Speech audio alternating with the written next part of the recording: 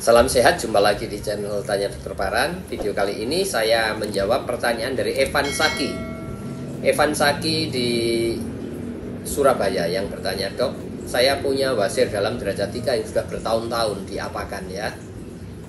Sebelum saya menjawab, saya mengingatkan teman-teman yang akan bertanya kepada saya, silahkan tulis di link Tanya Dokter Paran. Saya akan jawab dan upload di channel YouTube Tanya Dokter Paran. Dan bagi teman-teman yang akan ikut konsultasi langsung bersama saya, ikuti Insight with Dr. Paran setiap Rabu jam 10 pagi ya. Kembali kepada Evan Saki ya di Surabaya yang bertanya, "Dok, saya punya wasir dalam derajat 3 yang sudah bertahun-tahun diapakan ya?" Tindakan penanganan basir itu tidak bergantung pada lamanya. Mungkin sudah setahun, dua tahun, 10 tahun, 30 tahun, 40 tahun, tetapi berdasarkan dari keluhan dan derajat wasirnya. Jelas ya?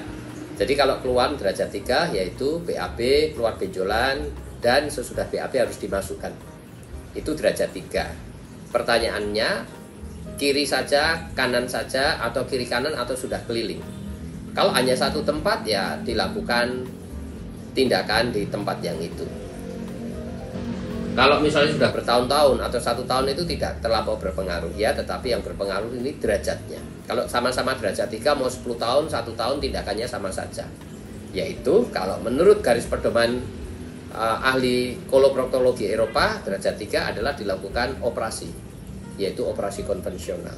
Ya, kalau operasi konvensional tidak mau dilakukan, ya halrar. Jelas ya?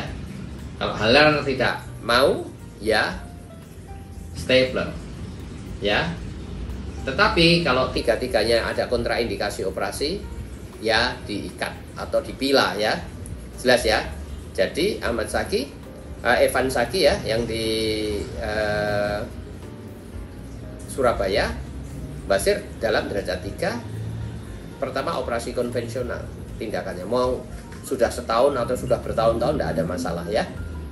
Kedua operasi berikutnya kalau tidak mau konvensional ya halrar kalau nggak mau halrar stapler ya.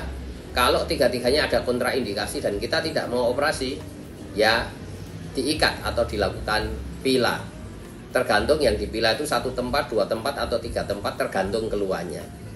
Jelas ya Evan Saki e, pertanyaan tentang saya sudah menderita wasir dalam derajat 3 yang sudah bertahun-tahun.